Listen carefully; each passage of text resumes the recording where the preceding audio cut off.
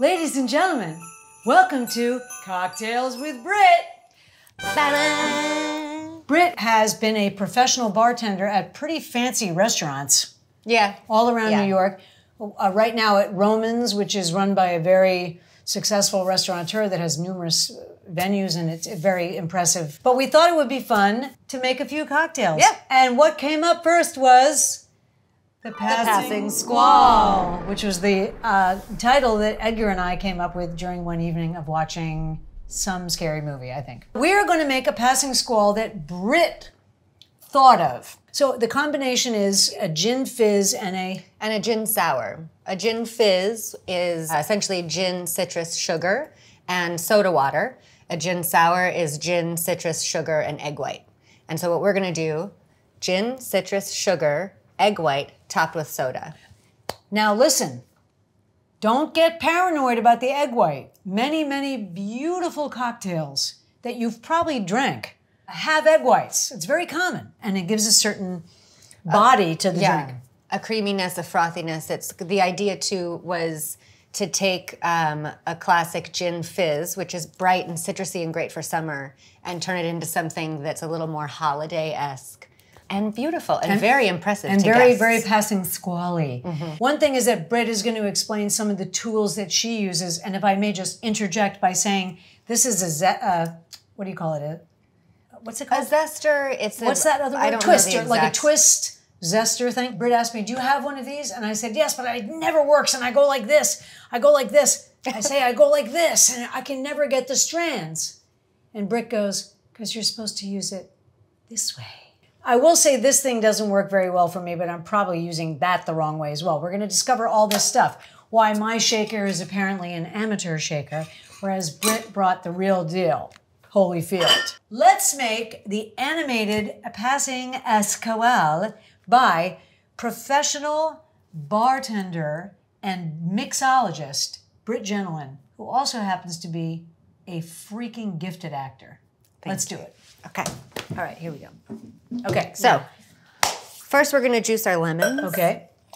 We're gonna add uh, about one ounce of lemon juice to the cocktail. And actually, there's a guy in New Orleans who invented another type of gin fizz, sometime around 1888, Oh, I think, I think I heard about this. by Henry Ramos. yeah. Okay. became very popular during Prohibition, and it incorporates everything we're putting in today, plus uh, cream, heavy cream, and um, vanilla extract.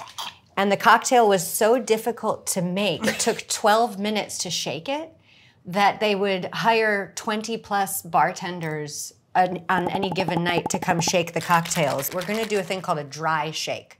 And what that is is all of your ingredients, the You can egg do white. this, guys. You've Don't got be this. afraid. Super easy. It's actually very easy. All your ingredients, the egg white, no ice. The egg white is going to fold over roughly like eight times, which it expands and it collects all of those ingredients.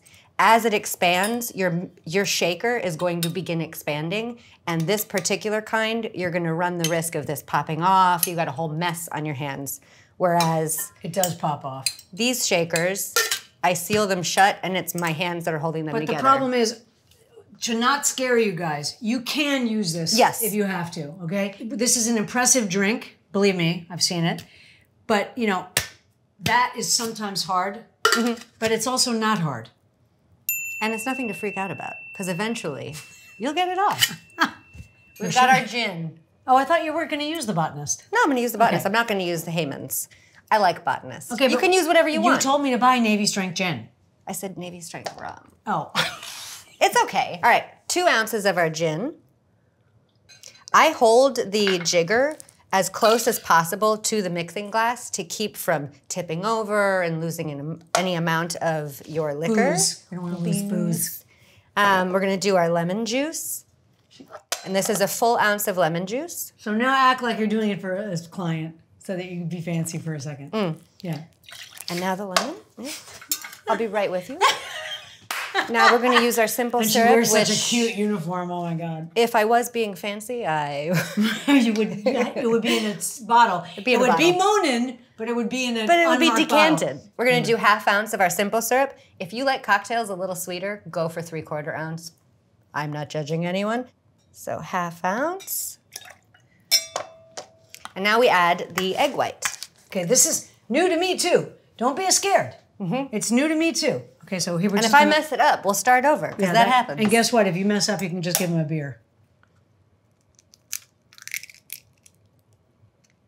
It's exciting. Your very friends are going to be impressed. But- so cute, Britt. Thank you so oh, much. you're much. just a green Thank you. sort of holiday look. Belongs to you. Fish because it's passing, passing, Passing squall, squall. and the fish might get disrupted. So now we're gonna dry shake. Do you want to feel what this feels like right now? And Yeah, is it gonna f- come out? No, it's not gonna come out right now. Right? It feels very liquid. Okay. Yeah. So now we're gonna shake it roughly 15 seconds. And when you shake a cocktail, you can't worry about what you look like. You're shaking. The whole point of it is that you're incorporating all the ingredients. So if you're sitting here going, you're not doing the job. I think she looks pretty good. We've got a little bit coming out on the side. That's see that foaming? That's okay. That's because the egg white's in there. I read online somewhere someone suggested wrapping a rag around your tins to keep that from happening, but we're having fun. wow. I don't know if you can see Nice and there. frothy. Good job, Britt. Okay. She's now she's putting the ice. Have an evening where this is part of the evening. Is that somebody's Yeah. making cocktails? Like we always tell you, do not have a fancy cocktail at a dinner party because somebody has to stop what they're doing to make it. Have an evening with snacks, the end of House of Dragons or something, Mm-hmm. where you're having a special cocktail. So go ahead, baby. Do, do your thing. Now I've sealed both ends and now I'm going to vigorously shake this I'm cocktail. step out of the way. She looks pretty good to me.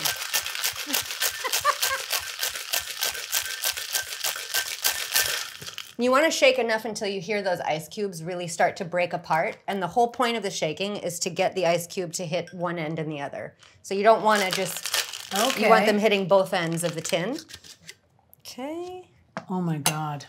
Got a nice frothy head on that. We're going to use our So why are strainer. you straining it and straining it? so I'm double straining it so the cocktail itself doesn't get, you're not getting any shards of ice, oh which if you're shaking a dirty martini, a I like a shard ice. Shard ice is great. With this particular don't cocktail, you don't really want it. Oh, oh, oh! It's a cloudy day in London town. A cloudy day in London town. But wait, because something crazy's gonna happen. If we did it right, Look at the passing happen. squall. Oh, it's a squall. What's happening? Oh my goodness. Here comes a little bit of seltzer. Just topping it up with a little bit of seltzer. Mm.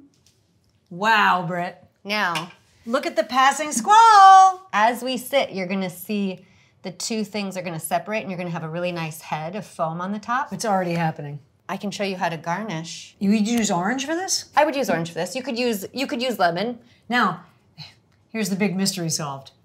Now, why didn't it go in like mine? Mine went in and was horrible. Because you dug it in like a I applied too much force. applied too much force. You get a little too, Too much- excited too much it. pressure? Yeah, a little Yeah. too much pressure. Can I try to do one? Oh, you jerk. Now go ahead, try. I think this looks really pretty. I was also thinking um, one fun thing you can do at home. Oh, this is much easier than the lime. let's say you buy pre-made margarita totally fine one fun thing you can do that you can't get at the store is to really work your garnish your garnish if you class up the garnish focus on the garnish it doesn't matter what the cocktail tastes like because people love a pretty drink now this is a proper actually this is a proper Look at the squall passing. squall passing I don't know if you saw what I did. She- I cut off both ends of the lime, cut it in half. You're gonna do a little slit down the center like that.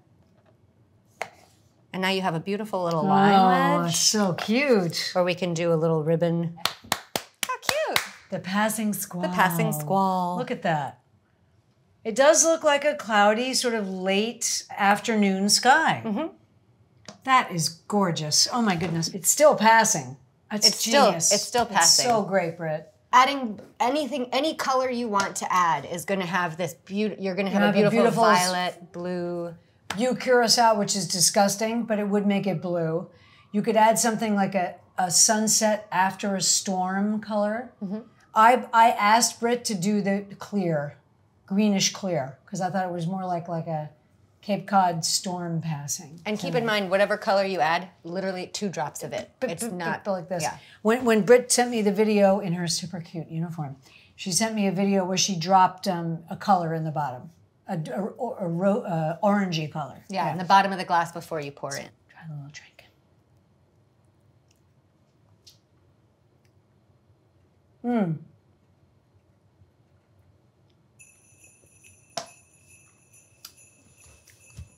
That's dangerously good. Dangerously good. That's got two shots of gin in it. I could probably drink one and a half before I would realize what I was drinking. So, the passing squall for the beginning or end of your holiday season Whichever you decide. is a very delicious drink designed and created by Britt Gentilin, professional actor, and also happens to be a professional bartender. So, Britt, here's to you.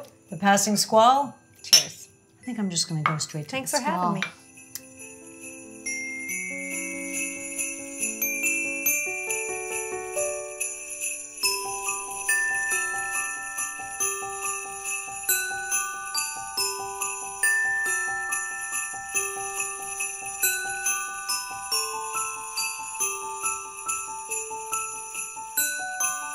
It's a cloudy day in London town. A cloudy day in London town. But wait, because something crazy is gonna happen.